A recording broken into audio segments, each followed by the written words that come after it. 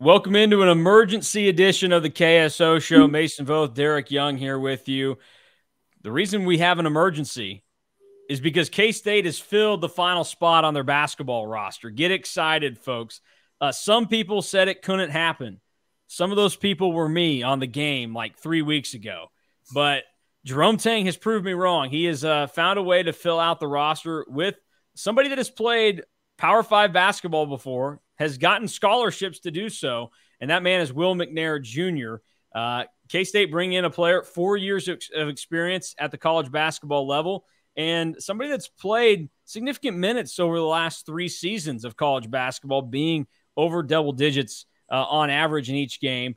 Will McNair, the background on him, real quick, started his career at New Mexico State, played three seasons there, uh, and was a starter on their NCAA tournament team. He started 27 of their 34 games, played 23 minutes, averaged close to seven points and five boards, and then transferred to Mississippi State to continue on with Chris Jans as head coach at New Mexico State. Uh, only averaged 13 minutes a game, three points, and uh, hauled in three rebounds per game. But this is a good depth and rotation add, especially at this point in the process, and for K State to finish out the final scholarship on their roster. Yeah, I like the pickup uh, when you consider the circumstances. Obviously, it's someone's going to look at last year's production and maybe be a little underwhelmed. You see, well, he's around three or four points a game, three or four rebounds per game. But you're doing that at Mississippi State and in the regular rotation for for the last piece and somebody that you're you know adding in September. And with all things considered of what's available in the pool, I think you probably feel like you hit a home run um, in, in many ways. So I, I I can't knock what they're doing here. And obviously, it probably gives you another element to your team and allows you to be continue to be more versatile because this is a guy that can probably do some things for you if you're Kansas State that you didn't have last year in terms of kind of have a having a big that's a little bit more of a back to the basket conventional type that can also bang a little bit against the more physical teams like we saw that sometimes Kansas State struggle with whether it was going against Lampkin while he was still at TCU or even mm-hmm. in the Elite Eight game when they played Florida Atlantic. So um, it allows allows you to probably to have an answer of just about everything that you're going to face. Because if it's going to be an up and down game where you, you need some athleticism, then obviously you got guys like David N'Guessan, got guys like Jerrell Colbert. But if it's a more physical brand, you need someone to, you know, beat around with another big a little bit, then then maybe you know Will McNair is going to be your answer. So I like the addition because it gives them a little bit more versatility and an element that they probably needed last year and didn't quite have. And, you know, for this point of the calendar, it still seems like best case scenario, right? It does to me anyway. I, I can't uh, really criticize what they're doing here and someone that probably has a bit of more of a ceiling than what they've shown in their career as well. Um, just didn't get a lot of opportunities, uh, a bunch of opportunities at Mississippi State, but he's backing up a pretty good player too there in Tolu Smith. So I, I like it. Um, we'll see what it means going forward and how quickly he can get up to speed. You're, we're talking about a guy that's getting to campus pretty late in terms of learning everything and how they want to do it at Kansas State. Um, what's the transition like? It was a little bit easier for Desi Sills because even though he arrived in October, that was a dude that was committed long before then. It was probably on videos and stuff like that and able to prepare um, and learn things at a, a, more rapid rate because of it. Um, Will McNair won't have that luxury, but this really makes Kansas State more complete, I think probably more talented, one through 13 as well. When you were talking about last year, a team that made the Elite Eight, you had Dorian Finister at the bottom at the 13 that wasn't quite ready for meaningful playing time. And that's why they're hoping that maybe they can scrounge a red shirt out of that whole situation. We'll see if they can. He played a little bit. And Anthony Thomas, who didn't play at all, and obviously he's not with the program anymore. Who you have now at 11, 12, 13 is better than the 11, 12, and 13 from last year. So um, do you have a Markquis Nowell and Keyontae Johnson? That remains to be seen. I think Arthur Kaluma is going to be pretty special.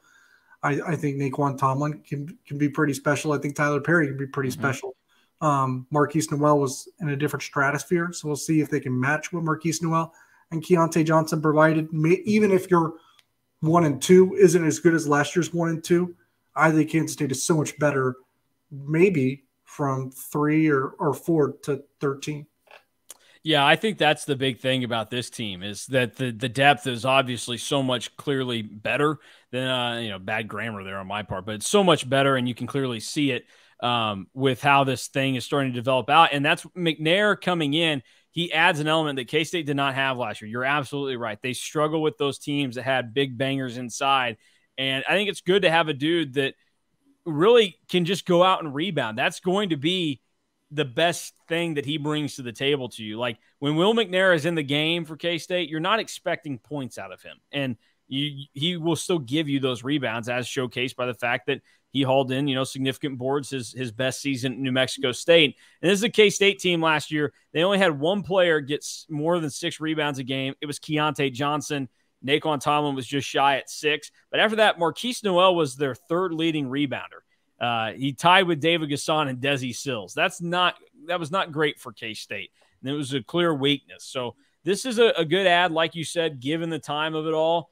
And it, my concern was that they would have added a 13th player that we had never heard of the school that he had played at before. And it was just, hey, look at that. We got all scholarships filled.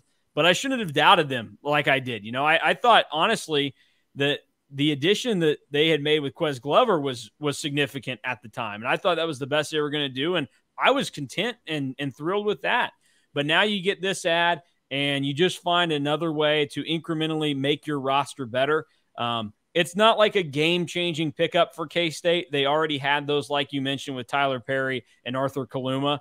But this is the type of deal that uh, it gives you more options later in the season or against different teams that you might have. Because, I mean, we saw the games last year. They would have to throw a guy like Bebe out there to kind of give a different change of pace. They needed somebody more of his style.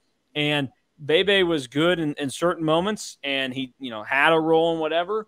But Will McNair, probably a more physical guy and a guy that's more equipped to do some stuff like that. So I think this K State roster is, has gotten to a point where in year two, which sometimes in a lot of these rebuilds or retoolings uh, can be a lot tougher than year one. I think Jerome Tang and his staff have done a really good job and put K State in a, a, position to be competitive this year in the Big 12. And once again, once they make it to the NCAA tournament. Yeah, they, they just continue to buck trends and defeat odds. I mean, first year, overhaul an entire roster, still make the Elite Eight. Um, the first couple of weeks of the transfer portal being action, being live, and you miss on Max Abmas and you miss on Aaron Estrada. And people are like, eh, can they duplicate this, the success that they had last year? Then they grab Tyler Perry. They're like, okay, this guy, you know, pretty good shooter, pretty good, pretty good scorer, um, even in a pace that's, you know, snail's pace. Let's put it that way at North Texas. So, what's he going to do in K State's offense? Okay, there's a lot of hope here. Then a little bit more of a lull again. They're like, uh oh, uh oh, are we running out of gas again? Nope. Surprised everyone laying Arthur Kaluma from Creighton, who can do a lot of different things. He was fantastic in the first game overseas, where he was very active on the mm-hmm. offensive end of the floor, and he's going to be a defensive weapon that you can put next to Nae'Qwan Tomlin, maybe even Jerrell Colbert at times, and you have an incredible amount of length and, and basically are a defensive force with those three um, put together at the same time. Um, another, then you miss them more, and they're like, all right, are we, are we stuck at 11? No, you, you pull another rabbit out of your hat and get maybe, at least from a production standpoint, one of the better offensive guards in the transfer portal as well, and Ques Glover, just because it fell out between him and BYU.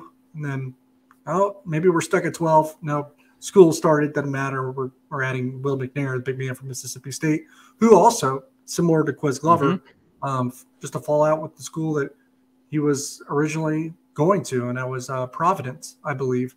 Uh, even went on the foreign trip. So interesting the way that they play out. Um, college basketball, college athletics, wacky world. Um, mm-hmm. Good dudes or, or viable dudes are going to come available at all times of the year. So you just never can shut your eyes or ears to it. Like even if you're a program, you have 10 guys in July or August, you can probably still feel field a pretty good roster of 13. And that's something that Jerome Tang has has been adamant about and preached ever since he got here. And again, it just goes to show he knows what he's talking about and he knows what he's doing. And again, like this is not the the addition that makes all of that clear and is some game changing thing for K State, but it's a really good pickup for this stage of the process. And the one through 13 on this roster is very strong, much stronger than last year. And we'll see where ultimately it ends up taking K State this season. But good pickup this late in the game. And uh, now the roster's filled out. And the only thing that we have to, to you know, kind of wait and see for K State basketball is uh, when the non conference schedule gets finalized. You know, we're, we're still waiting on that. But other than that, uh, we're ready for basketball season. I know football just started, but the we're going to get to like the end of September. I'm going to be just dying for basketball. It's, it's how it goes every year. I'm on record as being a college basketball more than a college football guy, even. Uh, so I will be ready for basketball the second it comes around. Uh, give me all the exhibition games that you can. Oh, exhibition! Uh, give, give me to Las Vegas for the opener against USC. Yeah, well, uh, it's good that K State will show up with a full roster in Vegas because you might need it with a, a, pretty talented USC squad. And that will do it for DY and I on this uh, quick update version of the KSO show. The Wildcats fill out the basketball roster. They get Will McNair on board as the 13th member of the roster, and uh, K State ready to get things going. In uh, almost you know two months from now is when K State will officially start their season against USC.